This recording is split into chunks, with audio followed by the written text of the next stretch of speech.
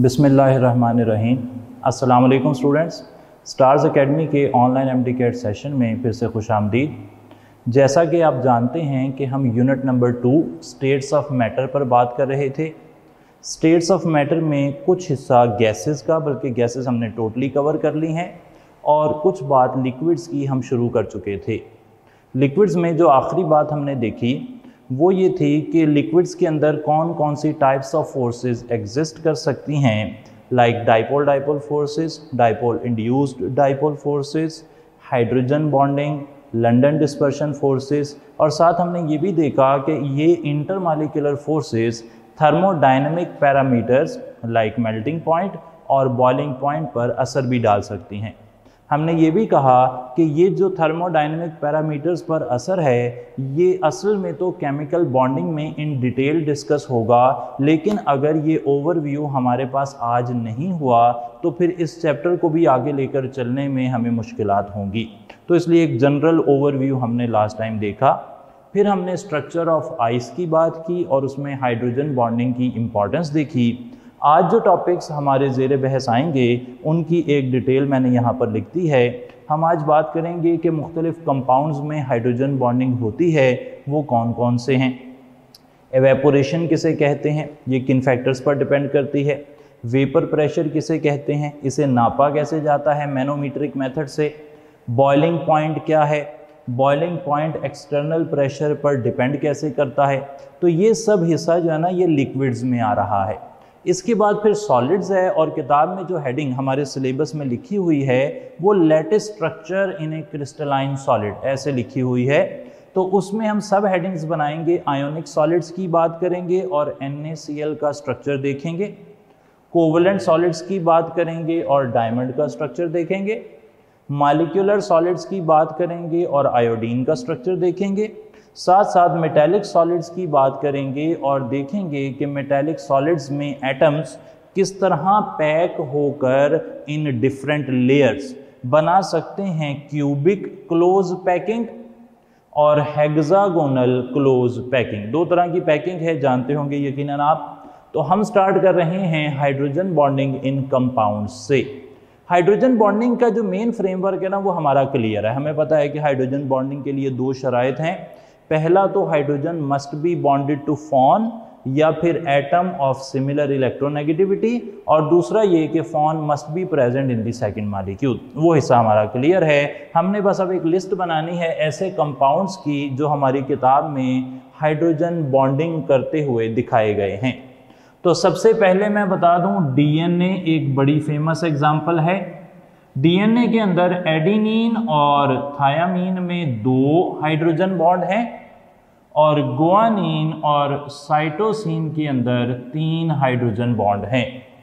इसी तरीके से प्रोटीन्स में भी हाइड्रोजन बॉन्डिंग होती है और कहाँ पर होती है? Between N H and C O यानी कि एक अमाइनो एसिड्स का जो एन एच ग्रुप है और दूसरे अमाइनो एसिड का जो सी ओ ग्रुप है, उसके दरमियान में हाइड्रोजन बॉन्डिंग होती है। इसके अलावा आपको मिसाल मिलेगी ग्लूकोज की। आपको मिसाल मिलेगी सुक्रोज की, जिन्हें मिलाकर आप कार्बोहाइड्रेट्स भी कह सकते हैं। इसके अलावा आपको हनी की मिसाल मिलेगी। सिल्क की मिसाल किताब में लिखी हुई है। पेंट्स की मिसाल किताब में लिखी हुई है। डाइज की मिसाल किताब में लिखी हुई है। इसी तरीके से अल्कोहल्स की बात की गई है। तो ये जो ग्लूकोज, सुक्रोज और अल्कोहल्स हैं इंक्लूडिंग अदर कार्बोहाइड्रेट्स इनकी सॉल्यूबिलिटी इन वाटर एक्सप्लेन होती है on the basis of hydrogen bonding यानी कि glucose, sucrose other carbohydrates alcohols वगैरह इवन कार्बोक्सिलिक एसिड्स ये सब के सब पानी में डिज़ोल्व क्यों हो रहे हैं? क्योंकि ये पानी के साथ हाइड्रोजन बॉन्डिंग कर सकते हैं.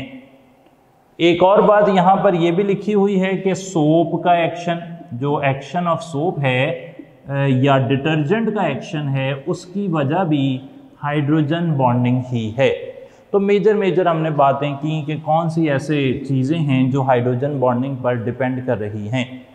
चलते हैं अपने बाकायदा टॉपिक पर, वो है एवेपोरेशन एवेपोरेशन किसे कहते हैं जी? एवेपोरेशन एवेपोरेशन को आप इस तरह याद रखेंगे कि evaporation is a spontaneous escape of molecules तो एवेपोरेशन क्या है? It is the spontaneous escape of molecules यहाँ पर मालिक्यूल्स ना spontaneously from the surface of a liquid वो एवेपोरेट हो जाते हैं। यहाँ से ये भी पता लगा कि evaporation is a surface phenomenon evaporation ना जी सरफेस से होती है। बीच में लिक्विड के, बर्तन के या कंटेनर के बॉटम से एवेपोरेशन नहीं होती। Evaporation is a surface phenomenon evaporation में कूलिंग होती है। यहाँ से ये भी पता लगा कि एवेपोरेशन जो है, वो एंडोथर्मिक प्रोसेस है। Evaporation is an endothermic process important information है। एवेपोरेशन एक एंडोथर्मिक प्रोसेस है और इसमें high kinetic energy molecules leave वो चले जाते हैं और आपने सीखा हुआ है। काइनेटिक मालिकुलर थ्योरी के मुताबिक भी ये बात हुई थी। कि काइनेटिक एनर्जी जो है वो टेम्परेचर के डायरेक्टली प्रोपोर्शनल है। अगर high kinetic energy molecules leave कर जाएँगे तो पीछे लो काइनेटिक एनर्जी मालिक्यूल्स रह जाएँगे और उनका टेम्परेचर कम होगा, यानी कि यहाँ पर कूलिंग हो जाएगी। एवेपोरेशन डिपेंड करती है कुछ फैक्टर्स पर। एवेपोरेशन डिपेंड कर रही होती है इस बात पर कि टेम्परेचर कितना है। जितना टेम्परेचर ज़्यादा होगा, उतनी एवेपोरेशन ज़्यादा होगी। और एवेपोरेशन इनवर्सली रिलेटेड होती है इंटर मालिकुलर फोर्सेस के। अगर इंटर मालिकुलर फोर्सेस ज़्यादा होंगी तो एवेपोरेशन कम हो जाएगी। मैं यहाँ पे रिपीट कर दूँ कि एवेपोरेशन स्पॉन्टेनियस एस्केप है तो ये हर टेम्परेचर पे चलता रहेगा। ये नहीं है कि पानी में ज़ीरो डिग्री पर एवेपोरेशन नहीं होगी। तो हर टेम्परेचर पर एवेपोरेशन होती है, ये डायरेक्टली प्रोपोर्शनल होती है टेम्परेचर के और इन्वर्सली प्रोपोर्शनल होती है इंटर मालिकुलर फोर्सेस के। सही हो गई जी बात? एवेपोरेशन ज़्यादा होगी अगर सरफेस एरिया ज़्यादा होगा। तो सरफेस एरिया पर भी डिपेंड करती है। अगर आप कोई कपड़ा है जिससे एवेपोरेशन करवानी है, उसे खुला कर देंगे, उसका सरफेस एरिया बढ़ा देंगे तो एवेपोरेशन ज़्यादा हो जाएगी। अगर आप उसका सरफेस एरिया कम कर देते हैं, उसे बाँध कर रख देते हैं तो फिर एवेपोरेशन कम हो जाएगी। एवेपोरेशन डिपेंड नहीं करती। क्रॉस का मतलब है कि डिपेंड नहीं करती। एवेपोरेशन डिपेंड नहीं करती कि आपके पास अमाउंट ऑफ़ लिक्विड क्या है? या फिर उसका वॉल्यूम कितना है?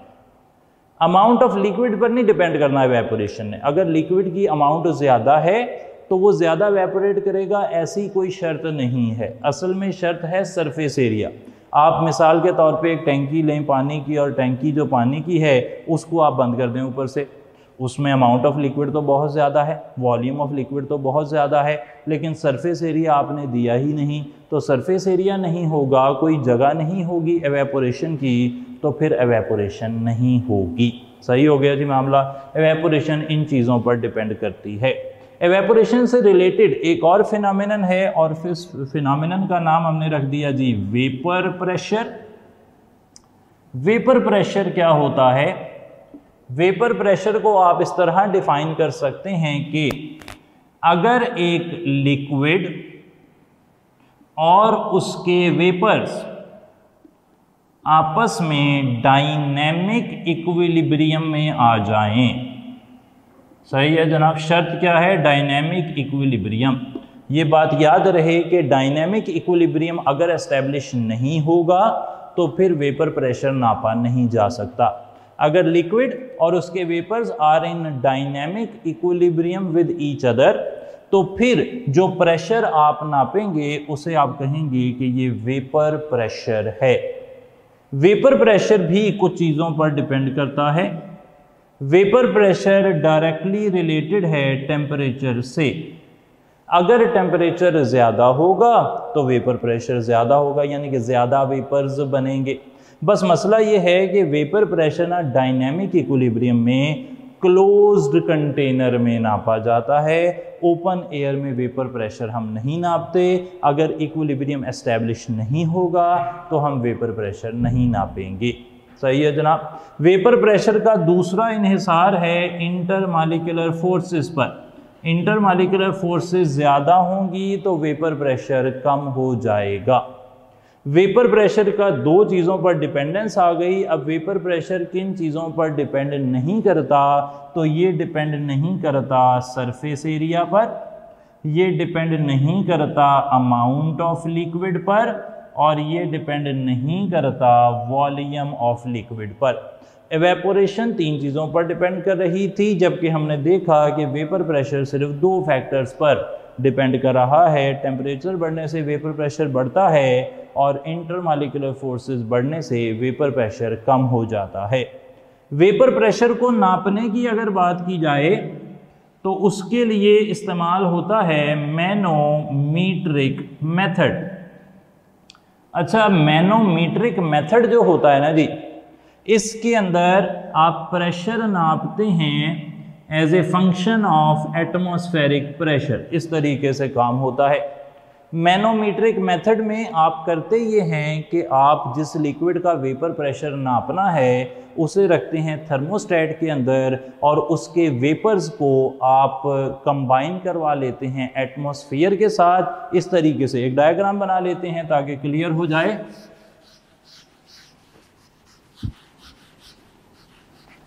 अरेंजमेंट इस तरह है जी अरेंजमेंट इस तरह है कि एक आपके पास होता है थर्मोस्टेट, उसके अंदर वो लिक्विड होता है जिसका आपने नापना है वेपर प्रेशर। ये रहा वो लिक्विड और अब यहाँ से आप एक पाइप ले जाते हैं एयर में और एक जाती है उस एरिया में जहाँ पे आपने वेपर प्रेशर नापना है। वेपर प्रेशर नापने के लिए जो स्कीम आप इस्तेमाल कर रहे हैं वो है कंपैरिजन। असल में यहाँ पर एक लिक्विड मौजूद है और इस लिक्विड पर एक तरफ़ से एटमॉस्फेयर प्रेशर लगा रहा है और दूसरी तरफ़ से आपका जो लिक्विड है, वो प्रेशर लगा रहा है। लिक्विड वाले प्रेशर को पी कह दिया और एटमॉस्फेरिक प्रेशर को पी ए कह दिया। दरमियान में आपने लगाया हुआ है एक अदद स्केल ये स्केल ग्रेजुएटेड है, यानी कि इस पर निशान लगे हुए हैं और इन निशानों की जो हाइट है उसमें चेंज को डेल्टा एच कहेंगे। अब डेल्टा एच के हवाले से तीन तरह की पॉसिबिलिटीज़ एग्जिस्ट करती हैं। अगर आपने ये एक्सपेरिमेंट करवाया और आपको डेल्टा एच की वैल्यू मिली ज़ीरो तो इसका मतलब है लिक्विड का वेपर प्रेशर एटमॉस्फेरिक प्रेशर के बराबर है। ऐसा भी हो सकता है कि डेल्टा एच की वैल्यू पॉजिटिव आ जाए। सही है जनाब। डेल्टा एच की वैल्यू पॉजिटिव कब आएगी? जब लेफ़्ट साइड वाला जो लिम्ब है, उसमें लिक्विड नीचे चला जाए और राइट साइड में ऊपर चला जाए। इससे क्या नतीजा निकलेगा? इससे नतीजा निकलेगा कि जो लिक्विड है ना, उसका प्रेशर एटमॉस्फेरिक प्रेशर से ज़्यादा है। तभी तो लिक्विड प्रेस कर रहा है, हो रहा है इस लिक्विड की वजह से और उस तरफ़ आगे बढ़ रहा है। तीसरी वाली बात देखें तो ऐसे भी हो सकता है कि डेल्टा एच की वैल्यू नेगेटिव हो जाए। अगर डेल्टा एच नेगेटिव होगा तो इसका मतलब है कि राइट साइड वाले लिम में लिक्विड नीचे आया और लेफ़्ट साइड से ऊपर चला गया तो अब की बारी एटमॉस्फेरिक प्रेशर ज़्यादा होगा जी और हमारे लिक्विड का प्रेशर कम हो जाएगा। क्लियर है जी? दोबारा से एक बारी देख लें। यहाँ पर वो लिक्विड है जिसका वेपर प्रेशर आपको मालूम करना है। यहाँ से वो लिक्विड वेपर बनाता है। वो वेपर इस पाइप के ज़रिए से आते हैं यहाँ पर और इस लिक्विड पर प्रेशर लगाते हैं। इस लिक्विड पर एयर भी प्रेशर लगा रही है। अगर दोनों साइड का प्रेशर बराबर हुआ तो फिर पहले वाली इक्वेशन आ जाएगी। अगर हमारे लिक्विड के वेपर्स ने ज़्यादा प्रेस कर दिया तो डेल्टा एच हो जाएगा पॉजिटिव और हमारे लिक्विड का वेपर प्रेशर एटमॉस्फेरिक प्रेशर से ज़्यादा हो जाएगा। तीसरी सिचुएशन क्या है कि डेल्टा एच नेगेटिव हो, यानी कि जो एटमॉस्फियर है, वो ज़्यादा प्रेस करे और हमारे लिक्विड के वेपर्स इतने ज़्यादा ना बन रहे हों। तो फिर क्या सिचुएशन बनेगी? P A is greater than P हो जाएगा। यहाँ पर अब हमें करना यह है कि कुछ मशहूर मशहूर लिक्विड्स जिनका वेपर प्रेशर हमें पता होना चाहिए, उनकी एक फहरिस्त बना लेनी है। चलें नोट कर लेते हैं जी।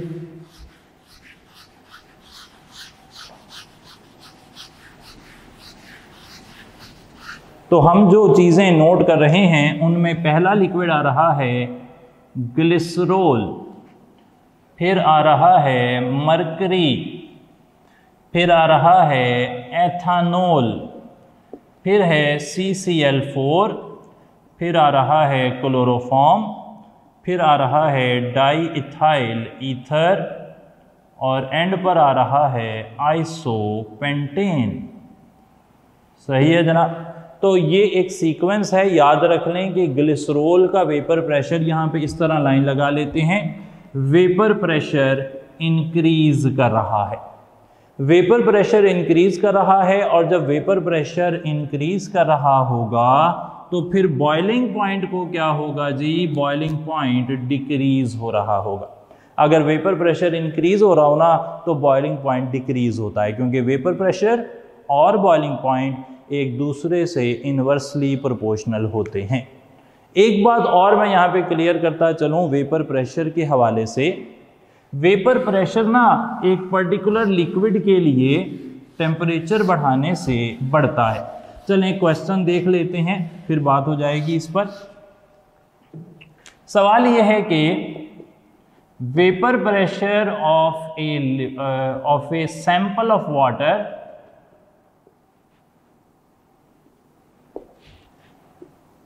will change maximum when we change temperature from. सवाल ये है कि आपके पास एक सैंपल ऑफ़ वाटर है और आप उसका टेम्परेचर चेंज कर रहे हैं तो कौन से टेम्परेचर चेंज के लिए वेपर प्रेशर में तब्दीली ज़्यादा से ज़्यादा होगी? अल्फ़ा ऑप्शन हमने यहाँ पर बनाया 10 टू 20 डिग्री सेंटीग्रेड यानी कि इनिशियल टेम्परेचर 10 से फाइनल टेम्परेचर 20 पर जाएँ तो वेपर प्रेशर में ज़्यादा तब्दीली आएगी, या फिर 30 से 40 पर ज़्यादा तब्दीली आएगी, या फिर 50 से 60 पर ज़्यादा तब्दीली आएगी, या फिर 80 से 90 पर ज़्यादा तब्दीली आएगी। आप गौर करें तो हर बारी मैं टेम्परेचर में 10 डिग्री सेंटीग्रेड का इजाफा कर रहा हूँ। अब सवाल ये है कि कब वेपर प्रेशर में ज़्यादा चेंज आएगा। इस सवाल को पूछने का मकसद क्लियर हो गया होगा आपको। मैंने अभी थोड़ी देर पहले ये बात कही कि वेपर प्रेशर टेम्परेचर बढ़ाने से बढ़ता है, लेकिन साथ साथ जैसे जैसे टेम्परेचर में इंक्रीज होता है ना, वेपर प्रेशर में होने वाला चेंज ज़्यादा होता जाता है।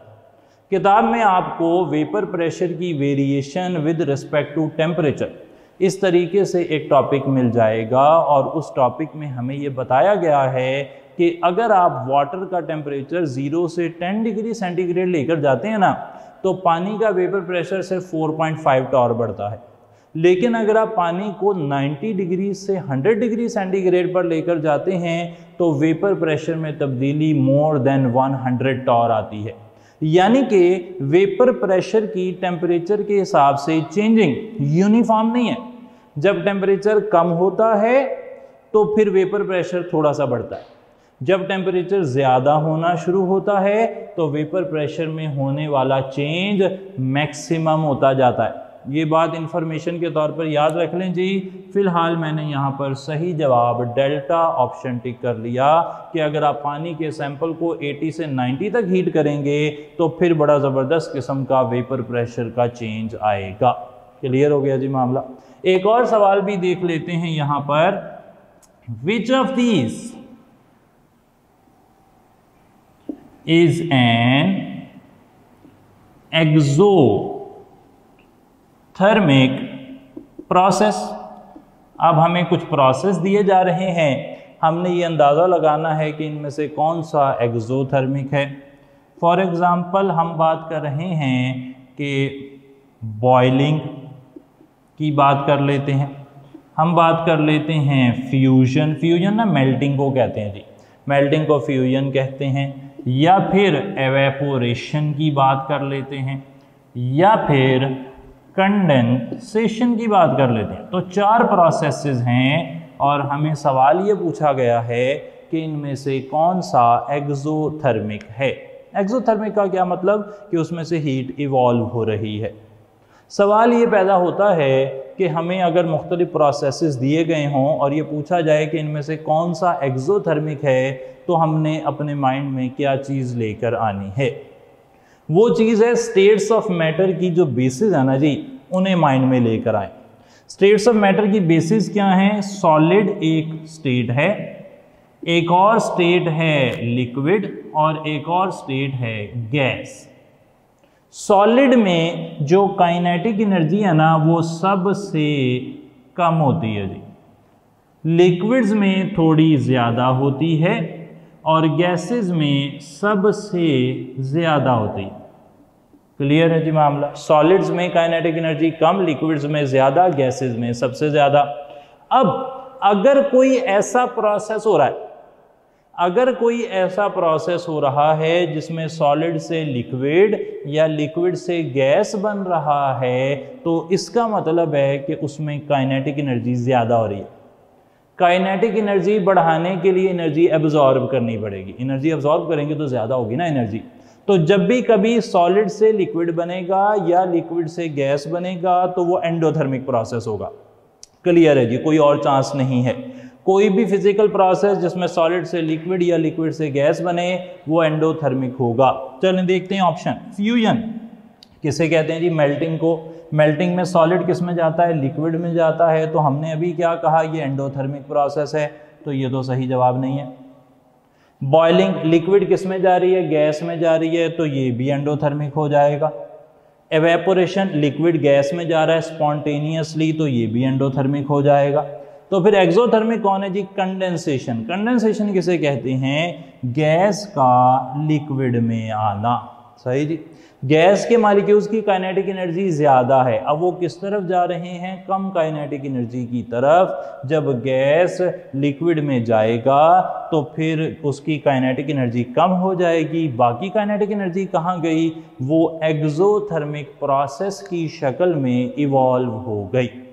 ये भी बात क्लियर हो गई। चलें फिर आगे चलते हैं। एक और सवाल भी देख लेते हैं।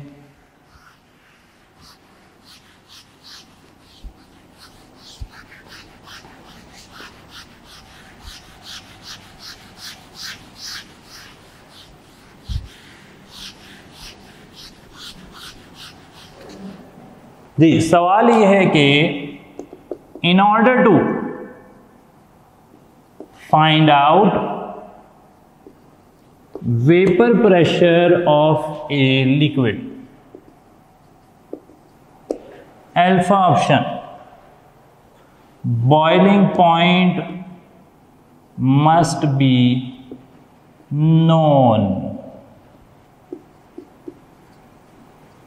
rate of evaporation must be greater than rate of condensation. 1 mole of liquid must be there या फिर dynamic equilibrium must be established. जी तो वेपर प्रेशर अगर आपने किसी लिक्विड का फाइंड करना है तो उसके लिए क्या शर्त लाजमी है? कौन सी बात ज़रूरी है? क्या उसका बॉइलिंग पॉइंट पता हो, तभी आप वेपर प्रेशर निकाल सकते हैं? नहीं जी, ऐसा तो कुछ नहीं है। हमने तो वेपर प्रेशर को निकालने के लिए बॉइलिंग पॉइंट का कोई भी किरदार नहीं सुना। इसके अलावा रेट ऑफ़ एवेपोरेशन अगर रेट ऑफ़ कंडेंसेशन से ज़्यादा हो जाए, नहीं जनाब डायनेमिक इक्विलिब्रियम एस्टेब्लिश होना चाहिए। अगर डायनेमिक इक्विलिब्रियम एस्टेब्लिश होगा, तभी आप वेपर प्रेशर जो है वो मालूम कर सकते हैं। तो ऐसा ऑप्शन बन रहा है डेल्टा तो डेल्टा ऑप्शन आपने टिक कर लेना है। ये वाली बात क्लियर करके हम चलते हैं जी आगे की तरफ़। और अब हमारी नेक्स्ट हेडिंग आ गई बॉइलिंग पॉइंट बॉइलिंग पॉइंट क्या होता है? Boiling point is the temperature at which vapour pressure of a liquid becomes equal to external pressure अगर किसी टेम्परेचर पर लिक्विड का वेपर प्रेशर एक्सटर्नल प्रेशर के बराबर हो गया, आपने कहना है कि ये बॉइलिंग पॉइंट है।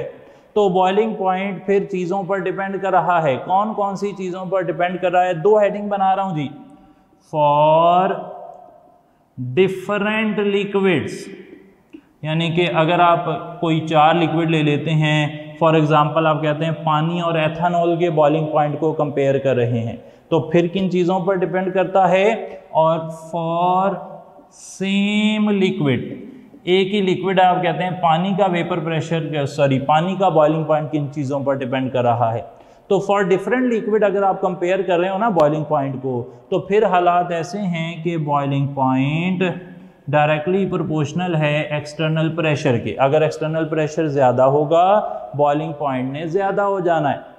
इसके बाद बॉइलिंग पॉइंट डिपेंड कर रहा होता है वेपर प्रेशर पर। अगर किसी लिक्विड का वेपर प्रेशर कम है तो उसका बॉइलिंग पॉइंट ज़्यादा होगा। इसको भी अब एक सवाल की शक्ल में भी देखेंगे जी।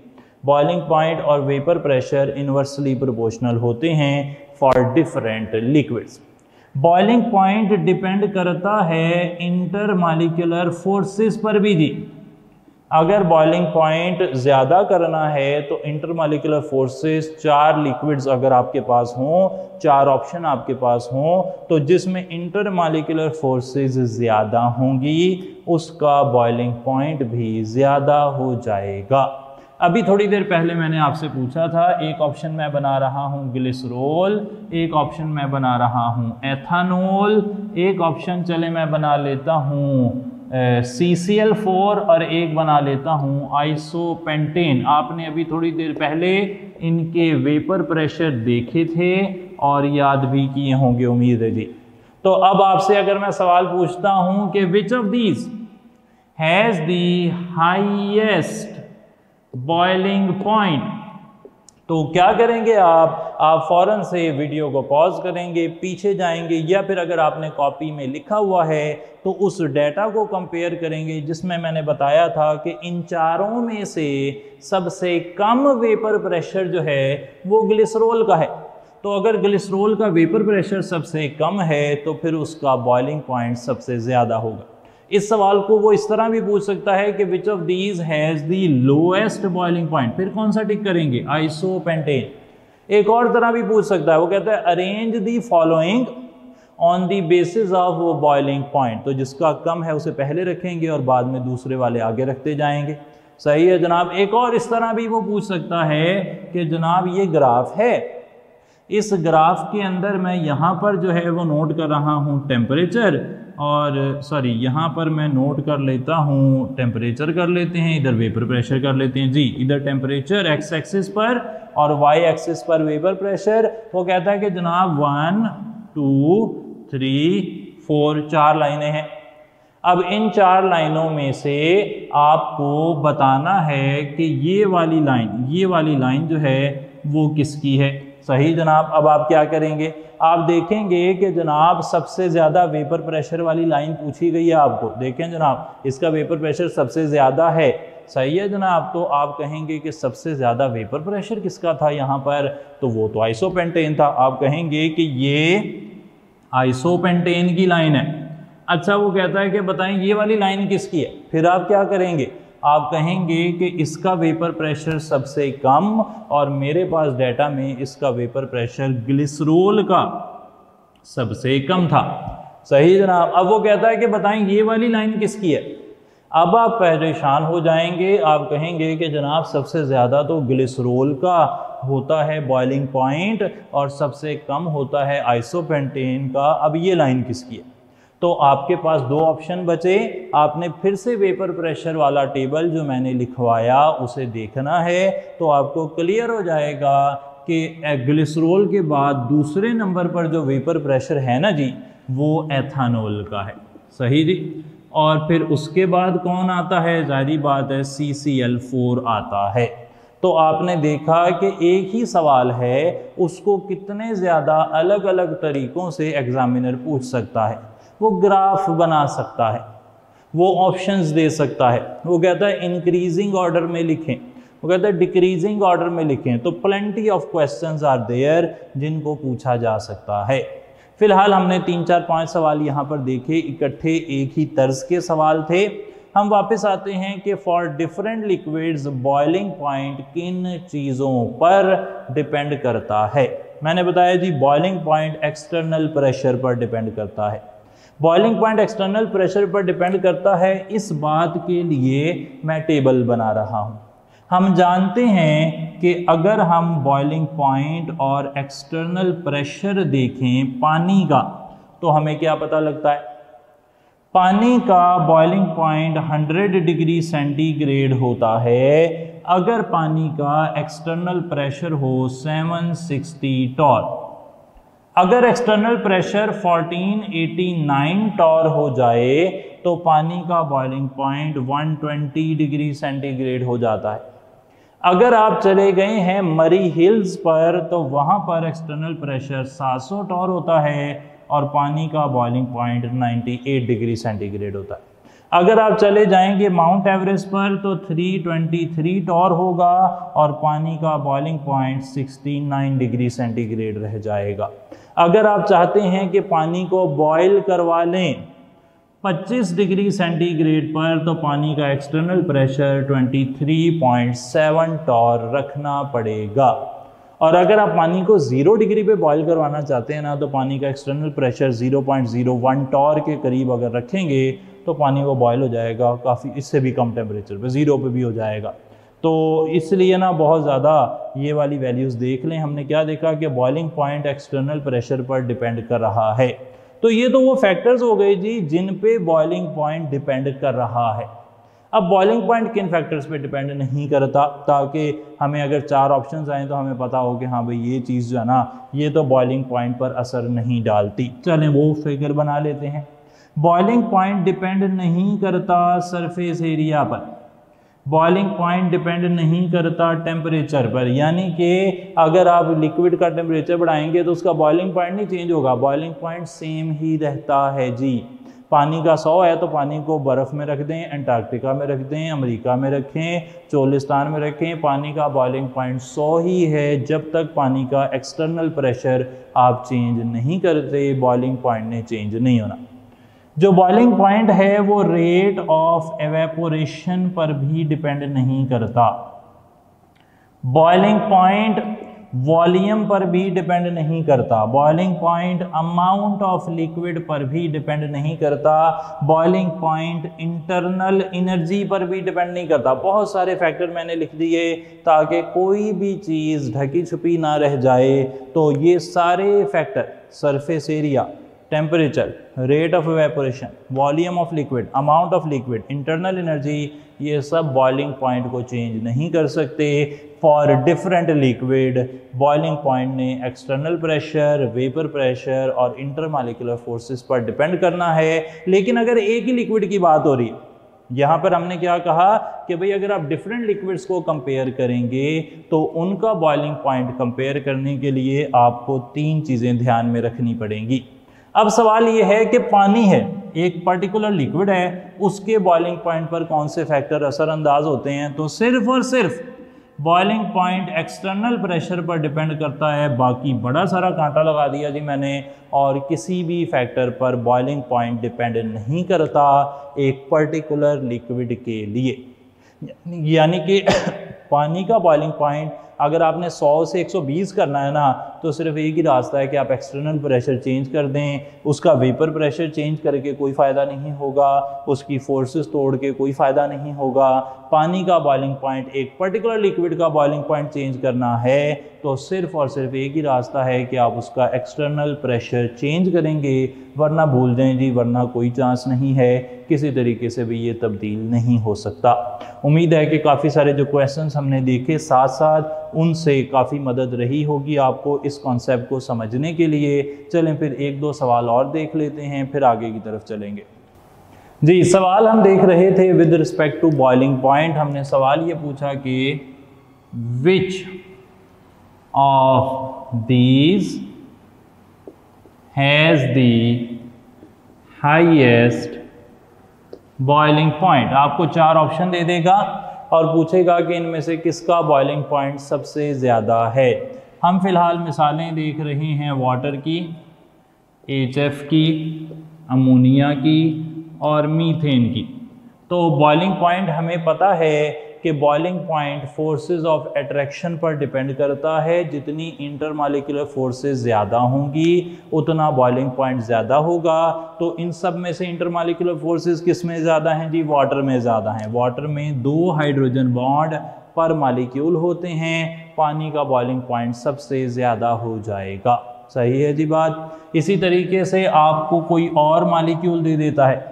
वो कहता है कि आपके पास मालिक्यूल है मीथेन, फिर है ईथेन, फिर है प्रोपेन, फिर है ब्यूटेन। तो अब बताएँ कि किसका बॉइलिंग पॉइंट ज़्यादा है। आपने कहना है कि सबसे ज़्यादा फोर्सेस तो जनाब सी फोर एच टेन में हैं। कौन सी फोर्सेस हैं? कल सीखा था, वो थी लंदन डिस्पर्शन फोर्सेस तो लंदन डिस्पर्शन फोर्सेस इसमें ज़्यादा हैं तो इसका बॉइलिंग पॉइंट ज़्यादा हो जाएगा। सही जनाब, एक और बात देखें, वो कहता है कि देर आर फोर लिक्विड्स एक का वेपर प्रेशर है 100 टॉर एक का वेपर प्रेशर है 200 टॉर एक का वेपर प्रेशर है 300 टॉर एक का वेपर प्रेशर है 400 torr at 25 degree centigrade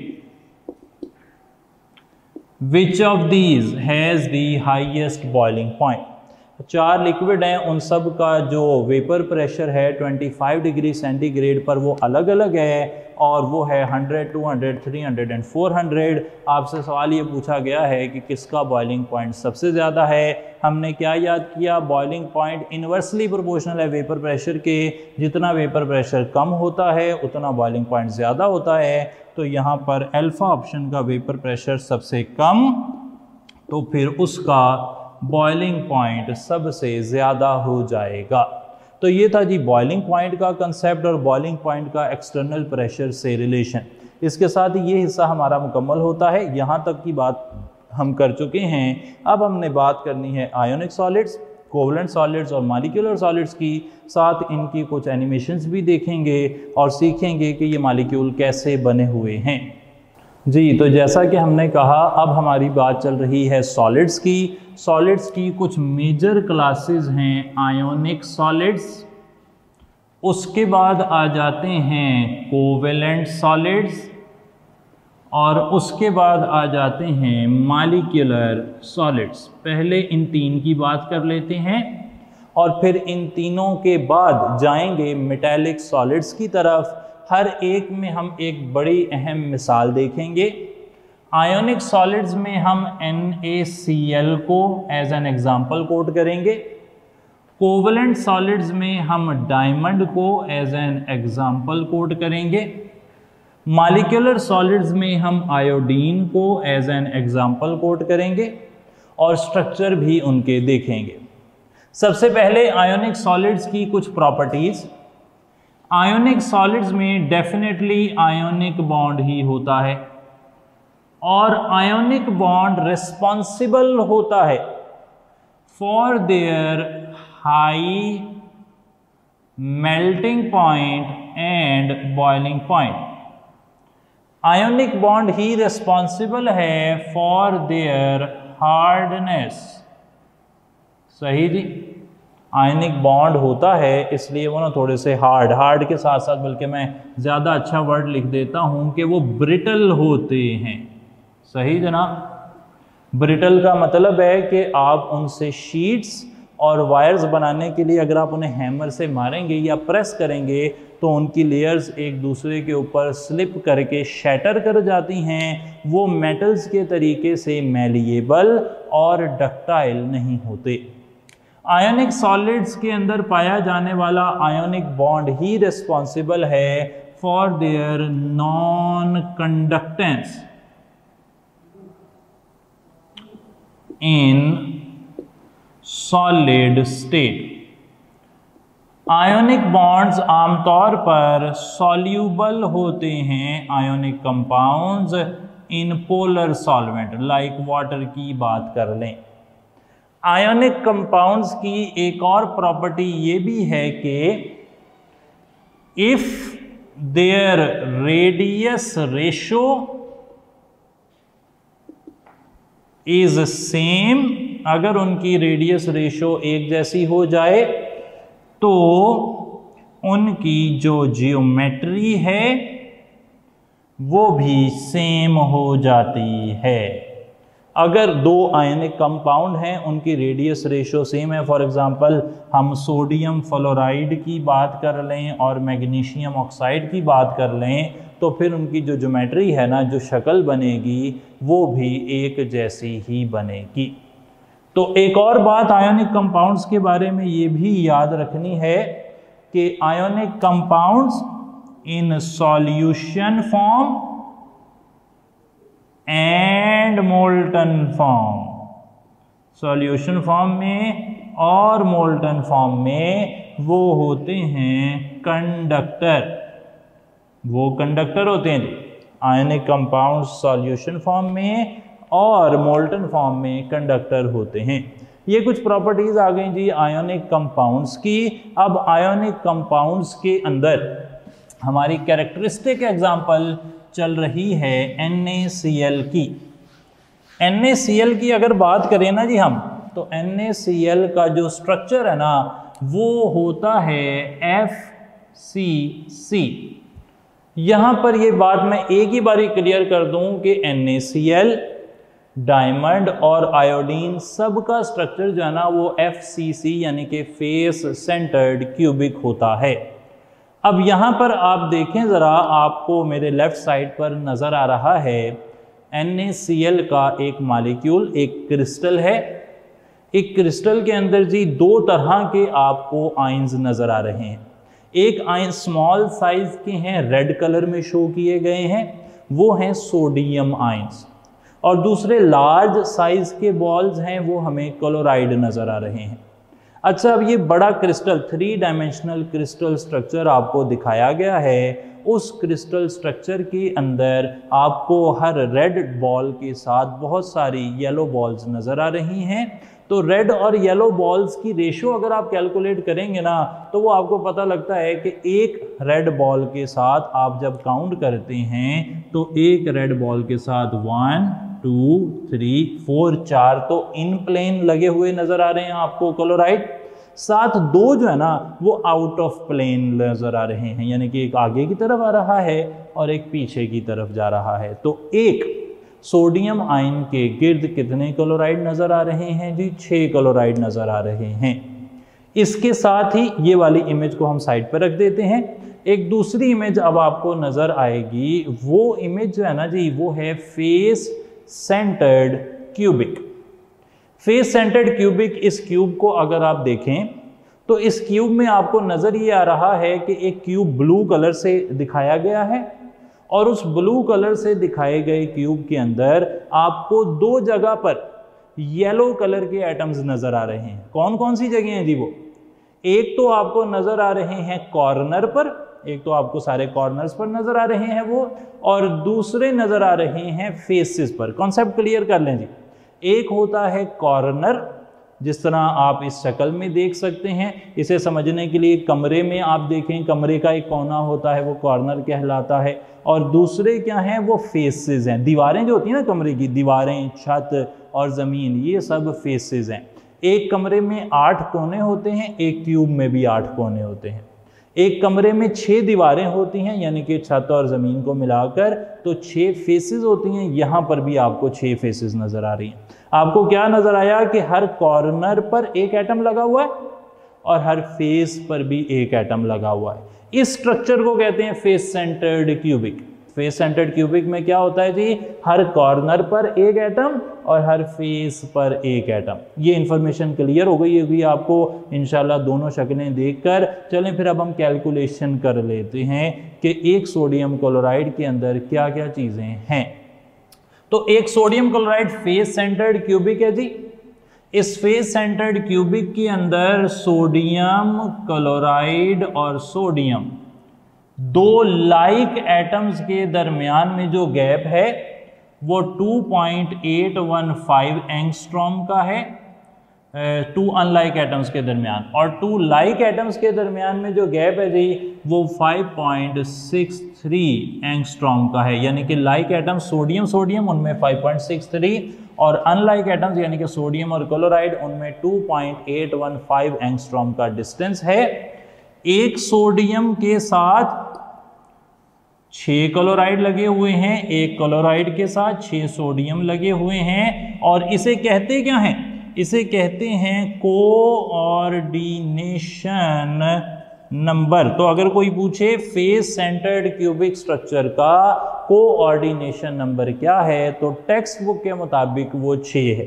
हो सकता है आप में से किसी ने कहीं और से तैयारी की हो या कोई फॉरेन बुक पढ़ी हो और वहाँ पर वो कहे कि फेस सेंटर्ड क्यूबिक का कोऑर्डिनेशन नंबर तो छः नहीं होता। जो भी है, हमारी किताब ने उसे छः कह दिया है तो बात ख़त्म हो गई है जी। अब वो छः ही रहेगा। जब तक कि हम एफएससी करके एमडी कैट ना कर लें, तब तक वो छः है। अगर आप केमिस्ट्री में अला तालीम हासिल करेंगे तो चेंज हो सकता है, लेकिन एफएससी में उसमें चेंज नहीं होना। सही है जी बात तो छः आ गया कोऑर्डिनेशन नंबर कोऑर्डिनेशन नंबर के बाद आप देखें आठ कॉर्नर हैं। हर कॉर्नर पर एक एटम तो टोटल कंट्रीब्यूशन जो आ रही है ना सोडियम आयंस की फ्रॉम कॉर्नर वो याद रख लें कि वन सोडियम आयन कंट्रीब्यूट होता है कॉर्नर से, और छः फेसेस हैं, हर एक से कंट्रीब्यूशन आती है हाफ़ तो तीन सोडियम आयंस की कंट्रीब्यूशन आती है कॉर्नर सॉरी फेसेस से। टोटल याद रख लें कि एक यूनिट सेल में चार सोडियम आयंस होते हैं चार क्लोराइड आइंस होते हैं पर यूनिट सेल तो ये कैलकुलेशन आप कर लें तो भी अच्छा है। वैसे इंफॉर्मेशन के तौर पर याद रख लें तो भी कोई मसला नहीं है कि आपको कॉर्नर्स से एक सोडियम आयन मिलता है और इसी तरह एक क्लोराइड के लिए भी यही कैलकुलेशन है। और फेसिस से तीन सोडियम आयन मिलते हैं और क्लोराइड होते तो वो भी तीन ही मिलते और एक यूनिट सेल में चार सोडियम और चार क्लोराइड आपको मिलेंगे। ये था सोडियम क्लोराइड जी। सोडियम क्लोराइड के जैसा ही स्ट्रक्चर आपको मिलता है डायमंड का भी। लेकिन डायमंड के स्ट्रक्चर से पहले हमने बात करनी है डायमंड के स्ट्रक्चर से पहले कि कोवलेंट कंपाउंड्स की क्या प्रॉपर्टीज़ कोवलेंट कंपाउंड्स की क्या प्रॉपर्टीज़ कोवलेंट कंपाउंड्स ना जी, जाहरी बात है कि आयोनिक कंपाउंड्स में आयोनिक बॉन्ड था, कोवलेंट कंपाउंड्स में कोवेलेंट बॉन्ड होगा। अच्छा कोवलेंट बॉन्ड जो है ना, ये दो तरह से हो सकता है। कोवलेंट बॉन्ड के ज़रिए या तो कोवलेंट कंपाउंड जाइंट मालिक्यूल बन सकते हैं, या फिर कोवलेंट कंपाउंड लेयर्ड स्ट्रक्चर बन सकते हैं। जाइंट के अंदर हम मिसाल दे रहे हैं डायमंड की, और लेयर्ड स्ट्रक्चर में हम मिसाल दे रहे हैं ग्रेफाइट की। बाकी मिसालें जो लिखी हुई हैं aluminium nitride, boron nitride, silicon carbide लाजमी याद रखनी है, छोड़नी बिल्कुल नहीं है, एक भी नहीं छोड़नी। हर तरह से क्लियर हो कि कौन जॉइंट है, कौन लेयर्ड है। मैंने सिर्फ़ फ़िलहाल यहाँ पर जॉइंट में डायमंड की मिसाल दे दी और लेयर्ड में ग्रेफाइट की मिसाल दे दी है। अच्छा अब ज़रा बात करते हैं कि जॉइंट मालिक्यूल्स की प्रॉपर्टीज़ क्या क्या होती हैं। Due to the excessive covalent bonding, पहली बात तो ये कि जॉइंट मालिक्यूल्स में सिर्फ़ कोवलेंट बॉन्ड ही होते हैं और कोई बॉन्ड नहीं पाया जाता। लेकिन जो लेयर्ड स्ट्रक्चर है ना जी, उनमें कोवलेंट बॉन्ड भी होता है प्लस लंडन डिस्पर्शन फोर्सेस भी होती हैं। यानी कि जो लेयर है ना ग्रेफाइट की, मान लें एक ये लेयर है, एक ये दूसरी लेयर है तो इन लेयर्स के बीच में असल में जो है ना लंडन डिस्पर्शन फोर्सेस पाई जाती हैं। क्यों पाई जाती हैं? क्योंकि ग्रेफाइट जैसे जो मालिक्यूल हैं, इनके अंदर कार्बन जब एक लेयर का तीन बॉन्ड बनाता है ना जी क्या हेक्सागोनल स्ट्रक्चर है ग्रेफाइट का। ग्रेफाइट का स्ट्रक्चर कैसा है?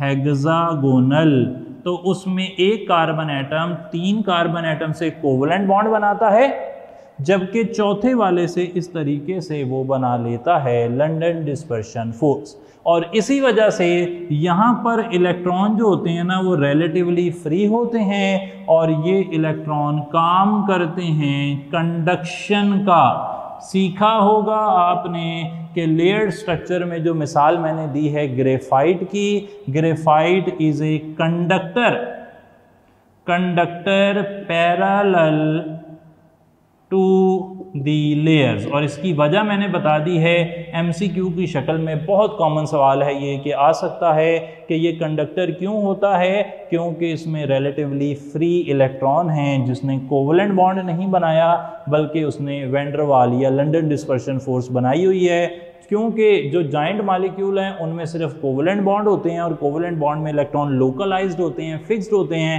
तो फिर वो कंडक्टर नहीं हैं। ग्रेफाइट जैसे मालिक्यूल जिनमें लंडन डिस्पर्शन फोर्सेस भी होती हैं, वो कंडक्टर हो सकते हैं। ग्रेफाइट में हाइब्रिडाइजेशन आपको sp2 मिलेगी डायमंड में हाइब्रिडाइजेशन आपको sp3 मिलेगी। सही है जी मेजर मेजर बातें मैंने बता दी। अच्छा अब जाइंट मालिक्यूल में तो एक्सेसिव कोवलेंट बॉन्डिंग है तो इस वजह से वो किसी भी चीज़ में सॉल्यूबल नहीं होंगे। वो हार्ड होंगे। सही है जनाब हार्ड होंगे। क्यों? क्योंकि बॉन्डिंग बड़ी ज़्यादा है तो फिर वो हार्ड होंगे, सख्त होंगे और इनसॉल्युबल होंगे। वो कंडक्टर नहीं है नॉन कंडक्टर ना वो बिजली कंडक्ट करते हैं और हीट भी कंडक्ट करने की कोई वजह नहीं है वैसे उनके पास। इसके मुकाबले में लेयर्ड स्ट्रक्चर में बता दिया कि वो कंडक्टर हैं। लेयर्ड स्ट्रक्चर के अंदर बाकी वो मेलिएबल भी हो सकते हैं। सही मेलिएबल क्यों हो सकते हैं? क्योंकि लेयर्स हैं और लेयर्स एक दूसरे पर स्लिप हो सकती हैं। ग्रेफाइट से ना शीट्स बनाई जा सकती हैं। ग्रेफीन कहते हैं उन्हें।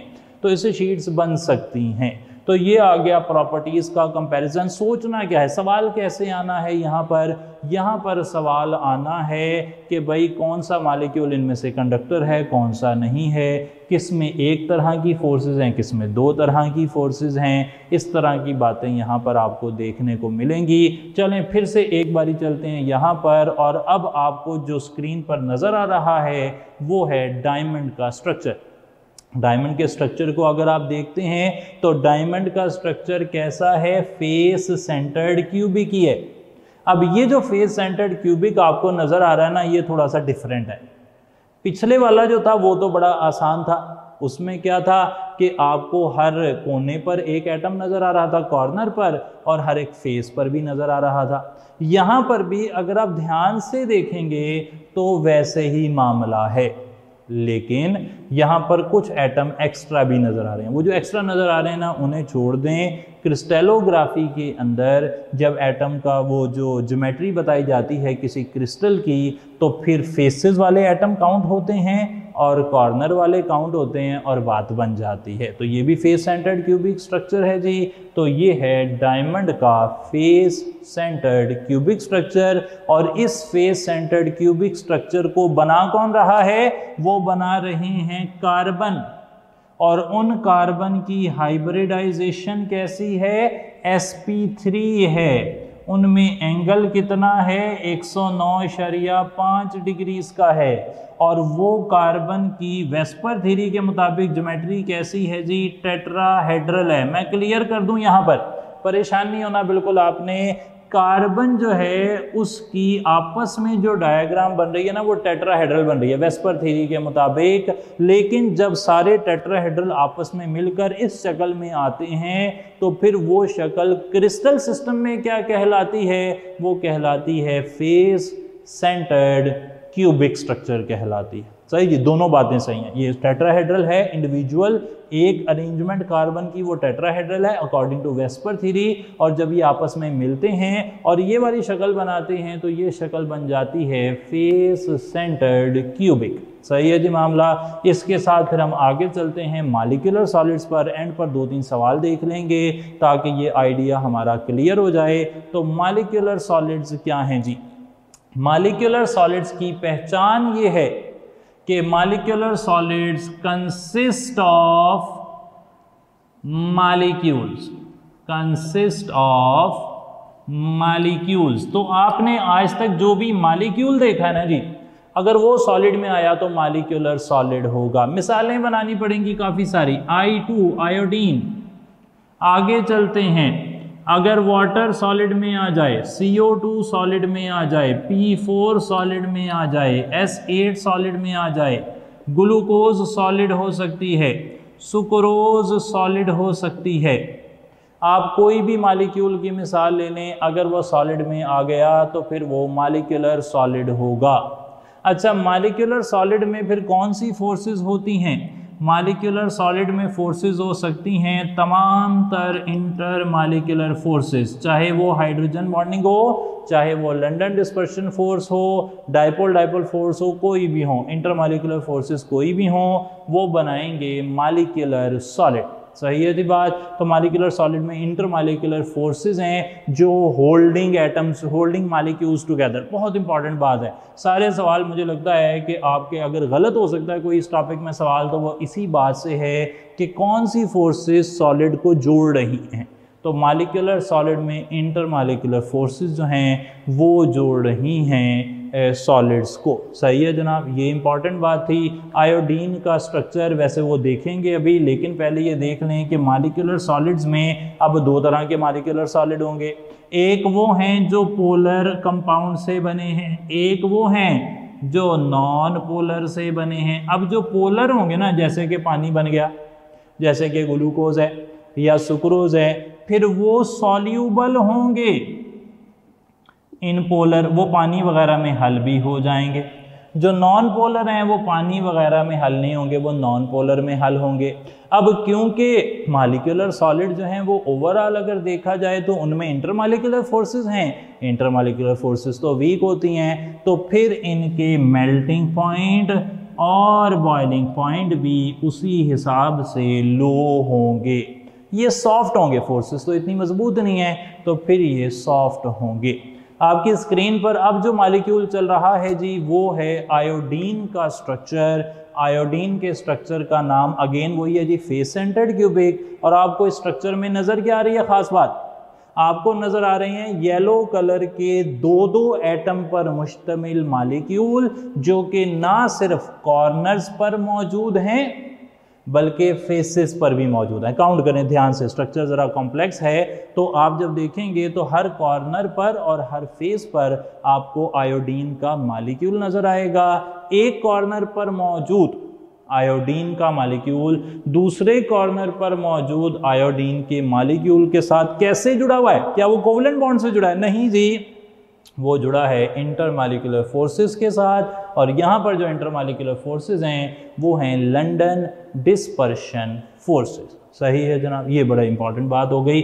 आयोडीन में एक और ख़ास बात आपको पता है कि आयोडीन का जो सॉलिड में आयोडीन आयोडीन बॉन्ड है ना, वो होता है 271 पिकोमीटर का और जब ये गैस में जाता है, थोड़ा श्रिंक हो जाता है 266.6 पिकोमीटर का हो जाता है। चलें जनाब, अब कुछ सवाल देखते हैं, इस हिस्से को मिटाते हैं, कुछ सवाल देखेंगे और फिर आगे की तरफ़ चलेंगे। जी, कुछ बात हम कर रहे थे क्वेश्चंस के हवाले से। यहाँ पर तीन सवाल हमने लिख लिए हैं और उन तीन सवालों से बहुत ही अहम इन्फॉर्मेशन मैं समझता हूँ कि इससे ज़्यादा अहम इन्फॉर्मेशन और इससे बड़ी कन्फ्यूज़न इस पर्टिकुलर टॉपिक में, यानी कि स्टेट्स ऑफ़ मैटर में, हम में से अक्सर लोगों को कभी नहीं रही। बहुत बड़ी कन्फ्यूज़न है तो उसको हमने हल करना है। फ़िलहाल सवाल देखते हैं, बहुत ही अहम सवाल है। मैं कहूँगा कि यहाँ पर आपने बहुत ज़्यादा टाइम देना है, बहुत ज़्यादा ध्यान से, बारीकी से बात को समझना है। पहला क्वेश्चन मैंने लिखा कि एग्ज़ाम्पल ऑफ़ अटोमिक सॉलिड चार कंपाउंड्स लिखे हैं, आपने बताना है कि इनमें से कौन सा एक अटोमिक सॉलिड है। अब हमने तो सॉलिड पढ़े हैं आयोनिक कोवलेंट मालिकुलर और मेटेलिक अब सवाल ये है कि अटोमिक सॉलिड कौन सा है? तो जो आयोनिक सॉलिड है, वो किस पर मुश्तमिल होता है जी? वो आइंस पर मुश्तमिल होता है। और जो मालिक्यूलर सॉलिड है, वो मालिक्यूल्स पर मुश्तमिल होता है। अब बचा कोवलेंट सॉलिड अगर आप कोवलेंट सॉलिड की कंपोजिशन देखें ना तो कोवलेंट सॉलिड में एटम्स होते हैं। डायमंड सारे कार्बन के एटम हैं ग्रेफाइट सारे कार्बन के एटम हैं, और उन एटम्स से मिलकर ही पूरा क्रिस्टल बन जाता है। तो याद रख लें कि कोवलेंट सॉलिड्स को अगर वो एक ही तरह के एटम पर मुश्तमिल होना जैसे कि सिलिकॉन भी एक कोवलेंट सॉलिड है तो फिर आप उसे अटामिक सॉलिड भी कहते हैं। तो यहाँ पर अटामिक सॉलिड हो गया डायमंड सही है जी अच्छा सवाल था, लेकिन अब जो सवाल आ रहा है, उसके तो क्या कहने हैं जी, बहुत ही ज़बरदस्त सवाल। सवाल ये है कि इन विच ऑफ़ दीज यानी कि चार कंपाउंड दिए हुए हैं, उनमें से किसके अंदर? Chemical bonding is not responsible for melting point chemical bonding melting point पर असर नहीं डाल रही। हमने अभी तक जो पढ़ा है ना, उसको समराइज़ करूँ तो हमें ये बताया जाता है कि थर्मोडाइनमिक पैरामीटर्स मेल्टिंग पॉइंट हो गया बॉइलिंग पॉइंट हो गया हीट ऑफ़ फ्यूजन हो गई हीट ऑफ़ वेपोराइजेशन हो गई हीट ऑफ़ सब्लिमेशन हो गई। ये सब के सब इंटर मालिकुलर फोर्सेस पर डिपेंड करते हैं। लेकिन जब आपको सवाल आ जाए कि किसका मेल्टिंग पॉइंट ज़्यादा है बॉइलिंग पॉइंट ज़्यादा है तो आपने जो फार्मूला इस्तेमाल करना है ना जी, वो देखें मैंने यहाँ पे लिख दिया है। बहुत इंपॉर्टेंट थर्मोडाइनमिक पैरामीटर्स होते क्या हैं जी? Melting point boiling point heat of vaporisation heat of sublimation heat of fusion पाँच कर लेते हैं। और भी होंगे, फ़िलहाल पाँच काफ़ी हैं। थर्मोडाइनमिक पैरामीटर्स अगर आयोनिक कंपाउंड के आप नोट कर रहे हो ना मतलब सोडियम क्लोराइड और सोडियम फ्लोराइड में से किसका ज़्यादा होगा? मेल्टिंग बॉइलिंग पॉइंट तो आपने आयोनिक बॉन्ड की स्ट्रेंथ देखनी है। जिसमें आयोनिक बॉन्ड मज़बूत होगा, उसका मेल्टिंग बॉइलिंग पॉइंट ज़्यादा होगा। अगर आप कोवलेंट कंपाउंड के मेल्टिंग बॉइलिंग पॉइंट की बात कर रहे हैं तो देखना पड़ेगा कि किसमें कोवलेंट बॉन्ड मज़बूत है, उसके मेल्टिंग बॉइलिंग पॉइंट ज़्यादा होंगे। अगर आप मेटल्स की बात कर रहे हैं तो जिसमें मेटेलिक बॉन्ड स्ट्रॉन्ग होगा, उसके मेल्टिंग बॉइलिंग पॉइंट ज़्यादा होंगे। अब आ जाते हैं मालिकुलर सॉलिड्स मालिकुलर सॉलिड्स में आपको इंटर मालिकुलर फोर्सेस देखनी पड़ेंगी। मालिकुलर सॉलिड में कौन सी मिसाल मैंने दी थी पीछे थोड़ी देर पहले? आयोडीन की। यानी कि अगर आप आयोडीन I2 I2 के मेल्टिंग पॉइंट की बात कर रहे हैं तो आपने ये नहीं देखना कि आयोडीन में जो केमिकल बॉन्ड है कोवलेंट बॉन्ड वो कितना मज़बूत है? उसकी कोई बात नहीं होगी। बात किसकी होगी इंटरमालिकुलर फोर्स की। आयोडीन में इंटरमालिकुलर फोर्सेस जितनी ज़्यादा हैं, उतना उसका मेल्टिंग बॉइलिंग पॉइंट ज़्यादा होगा। तो जहन नशीन कर लें कि मालिकुलर सॉलिड्स में जो मेल्टिंग बॉइलिंग पॉइंट डिपेंड करते हैं, वो किसी बॉन्डिंग पर डिपेंड नहीं करते, बल्कि वो इंटर मालिकुलर फोर्सेस पर डिपेंड करते हैं। तो यहाँ से हमारा जवाब फिर क्या बन गया जी? मालिकुलर सॉलिड्स बन गया। क्यों? क्योंकि केमिकल बॉन्डिंग होती है ionic bonding covalent bonding metallic bonding जबकि मालिकुलर सॉलिड में होती हैं इंटर मालिकुलर फोर्सेस जो ये बताती हैं कि उनके मेल्टिंग बॉइलिंग पॉइंट ज़्यादा होंगे या कम होंगे। एक और सवाल देख लें ionic solids conduct electricity ionic solids electricity कब कंडक्ट करते हैं? ठंडा करने पर, गर्म करने पर वेपोराइज करने पर या पानी में डालने पर। साफ़ ज़ाहिर है कि जब आयोनिक सॉलिड्स को पानी में हल किया जाता है तो फिर वो कंडक्टर का काम करते हैं। तो चार्ली ऑप्शन हमने यहाँ पे टिक कर लिया। इस सवाल को अच्छे तरीके से देख लें जनाब। ये आपके बहुत सारे अहम मसले हल करने में मदद देगा। एंड पर बात करते हैं जी मेटेलिक सॉलिड्स की। मेटेलिक सॉलिड्स क्या होते हैं? मेटेलिक सॉलिड्स होते हैं मेटल्स जिनके अंदर पॉजिटिव आइंस और मोबाइल इलेक्ट्रॉन्स, जो इलेक्ट्रॉन पूल बनाकर बैठे होते हैं। इलेक्ट्रॉन पूल थीरी याद आ रही होगी आपको तो ये होते हैं मेटेलिक सॉलिड्स मेटेलिक सॉलिड्स में जो मेटल कैटाइन है, वो अपने सफ़ियर ऑफ़ इन्फ्लुएंस में मौजूद मोबाइल इलेक्ट्रॉन्स को अट्रैक्ट करता है और इस तरीके से वो दूसरे मेटल कैटाइन के साथ जुड़ जाता है। इस बॉन्डिंग को कहते हैं मेटेलिक बॉन्डिंग मेटेलिक बॉन्डिंग की ये थ्योरी इलेक्ट्रॉन पोल थ्योरी है। इसके अलावा वेलेंस बॉन्ड थ्योरी भी है, जिसके मुताबिक मेटेलिक बॉन्डिंग जो है ना इज़ डी लोकलाइज्ड सही जी डी लोकलाइज्ड कोवलेंट बॉन्डिंग तो वेलेंस बॉन्ड थ्योरी कहती है कि मेटेलिक बॉन्डिंग जो है ना, वो भी कोवलेंट बॉन्डिंग ही है, लेकिन वो डी लोकलाइज है. डी लोकलाइज का मतलब होता है कि वो ओवर दी क्रिस्टल फैली हुई है. एक जगह बॉन्ड कोवलेंट बॉन्ड तो एक जगह ठहरा होता है ना, देखें कार्बन कार्बन बॉन्ड ये बॉन्ड यहीं पर है, ये कहीं नहीं जा रहा. ये लोकलाइज्ड है. लेकिन अगर बॉन्ड एक से दूसरे से तीसरे से चौथे एटम पर शिफ्ट होना शुरू हो जाए तो उसे डी लोकलाइज बॉन्डिंग कहेंगी। वैलेंस बॉन्ड थ्योरी के अलावा एक और बॉन्डिंग है molecular orbital theory molecular orbital theory के मुताबिक जो मेटेलिक बॉन्डिंग है, वो बन जाती है बैंड की शक्ल में एग्जिस्ट करती है। बैंड थ्योरी भी कहते हैं इसे। यानी कि मेटेलिक ऑर्बिटल्स जो हैं, वो आपस में मिलकर एक बैंड बना लेते हैं। फिज़िक्स में भी आपने पढ़ा है। और वो बैंड में जो इनर्जी गैप है, वो बड़ा कम होता है। एक कंडक्शन बैंड होता है, एक वेलेंस बैंड होता है। उतनी डिटेल तो नहीं है जितनी फ़िज़िक्स में यहाँ पर सिर्फ़ नाम ही लिखा गया है। तो मेटेलिक सॉलिड्स की कुछ प्रॉपर्टीज़ बता दें। मेटेलिक सॉलिड्स कंडक्टर हैं हीट के। मेटेलिक सॉलिड्स कंडक्टर हैं इलेक्ट्रिसिटी के। और मेटेलिक सॉलिड्स की जो इलेक्ट्रिसिटी की कंडक्शन है वो इन्वर्सली प्रोपोर्शनल है टेम्परेचर के। अगर टेम्परेचर बढ़ेगा तो इलेक्ट्रिसिटी की कंडक्शन कम हो जाएगी। क्यों कम हो जाएगी? Due to positive ion vibration जो पॉजिटिव आइंस है ना, वो तेज़ी से वाइब्रेट करना शुरू कर देंगे। वो मोबाइल इलेक्ट्रॉन्स के साथ टकराना शुरू कर देंगे और इस वजह से इलेक्ट्रिसिटी की कंडक्शन कम हो जाएगी। मेटल्स आर मेलिएबल यानी कि इनकी वायर बनाई जा सकती हैं एंड डक्टाइल यानी कि इनकी शीट्स बनाई जा सकती हैं। सही है जी, मामला तो ये मेटल्स के बारे में कुछ प्रॉपर्टीज़ हैं। आखिरी बात कर रहे हैं मेटेलिक सॉलिड्स जो है ना, वो दो तरह की पैकिंग में एग्जिस्ट कर सकते हैं। एक को कहते हैं क्यूबिक क्लोज पैकिंग एक को कहते हैं hexagonal close packing cubic close packing को A B C A B C यानी कि तीन लेयर्स वाला स्ट्रक्चर कहते हैं, इसे one two three one two three भी कहते हैं। इसका मतलब यह है कि क्यूबिक क्लोज पैकिंग के अंदर जो पहली लेयर के एटम हैं, उनकी अरेंजमेंट दूसरी लेयर से डिफरेंट होती है और दूसरी लेयर की अरेंजमेंट थर्ड लेयर से डिफरेंट होती है। जबकि हेक्सागोनल क्लोज पैकिंग को ए बी ए बी कहते हैं, इसे वन टू वन टू भी कहते हैं, यानी कि फ़र्स्ट लेयर सेकंड से डिफरेंट है, लेकिन थर्ड लेयर ना फिर फ़र्स्ट जैसी ही है।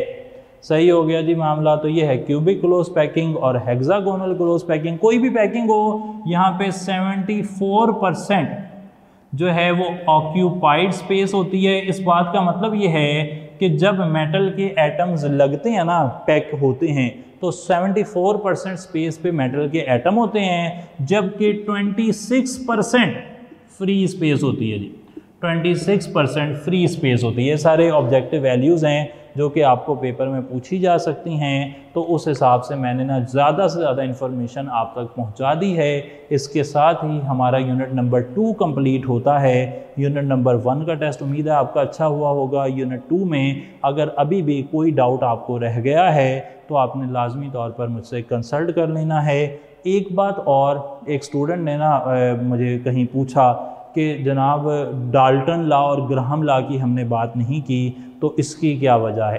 तो आप जना ये बात जहन नशीन कर लें कि बहुत ज़्यादा प्रिसियन के साथ एक्यूरेसी के साथ, समझदारी एक्सपीरियंस सारा कुछ डालकर हम ये फाइनल करते हैं कि कौन से टॉपिक को कितनी इम्पोर्टेंस देनी है। तो हमारी जो सिलेबस आउटलाइन है ना, उसमें किसी तरह भी ग्राहम्स ला और डाल्टन्स ला अवेलेबल नहीं थे, वरना हम उन्हें लाजमी डिस्कस कर लेते।